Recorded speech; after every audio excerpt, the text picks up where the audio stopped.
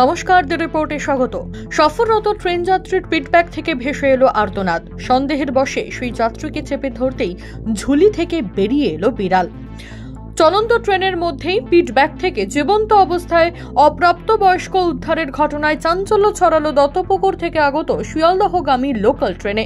সূত্রের খবর, অফিস টাইমে বামনগাছি স্টেশন থেকে অন্যান্য যাত্রীদের সঙ্গে লেডিস কামরায় ওঠেন এক মহিলা যাত্রী।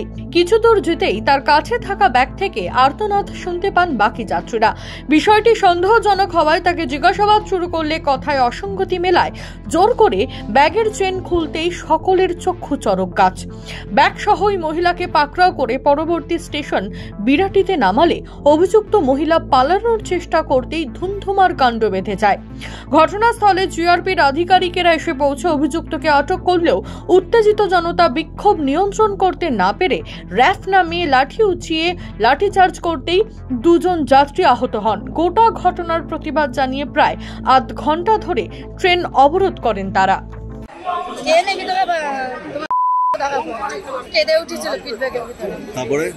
তখন আমরা চেন খুলে মানে মহিলার পিঠেই ছিল পিঠব্যাগটা হ্যাঁ ফিডব্যাকটা মহিলা পিঠেই ছিল। তারপরে ধরলেন ধরার পরে?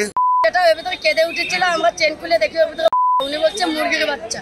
আমরা বিরাটিতে সবাই মিলে মাধ্যম করে লাভিয়ে নিয়েছি। উনি কোথা থেকে ট্রেনে উঠেছিলেন? উনি বাবন গেছে ট্রেনে উঠেছে। তারপর কি হলো? এখন কোথায় রয়েছে? এখন ওনাকে বারাসাত নিয়ে গেছে জিয়ারপিতে আপনার ট্রেন অবরোধ করেছিলেন? হ্যাঁ এখানে ট্রেন অবরোধ করা হয়েছে। পুলিশ কি লাঠিচার্জ করেছে? হ্যাঁ তিনজনকে মাথা ফাটিয়ে দিয়েছেন কেন? কি জন্য? কি জন্য? আমরা ওই আহ, তোমার টে- গাড়ির ওখানে গেছিলাম মে- মহিলাটাকে না- যে আমাদের মহিলাটাকে ছেড়ে দেন আমাদের বাড়ি। তার জন্য। কারা মেরেছে? জিআরপি না পুলিশ? না পুলিশ মেরেছে।